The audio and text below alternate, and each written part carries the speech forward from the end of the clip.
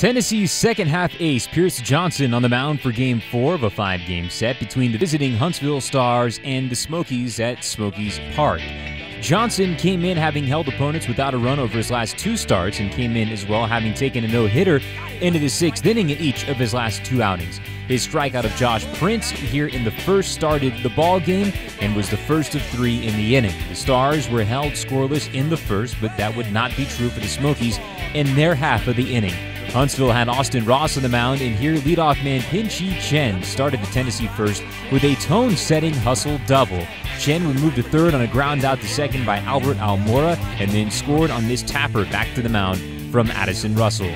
Johnson now pitching with a 1 0 lead after one, and he would work around a couple of walks while keeping the Stars scoreless again. Johnson struck out four over the first two and finished his outing with seven strikeouts over four innings. Bottom of the second, the Smokies would rally for three straight singles off Ross. The first was a liner to right center by Christian Villanueva. The next batter was Charlie Cutler, and he too would follow with a hard struck ball to center. Cutler's hit moved Villanueva to third, and moments later, Stephen Bruno would drive him in. Tennessee, and the pitch is swung on. A line drive base hit laced in the center field. Villanueva's going to get the wave. Komatsu just eats it, throws it back to second. RBI single for Bruno.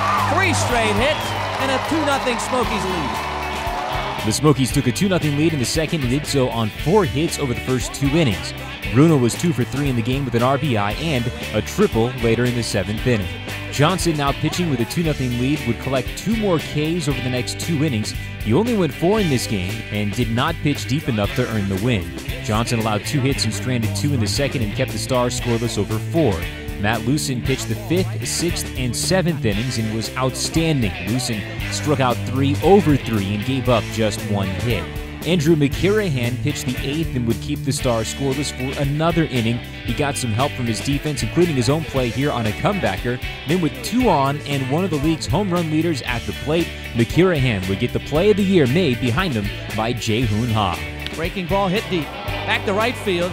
Going to the wall is Ha. He's way back. He leaps. He got it! Oh, what a catch!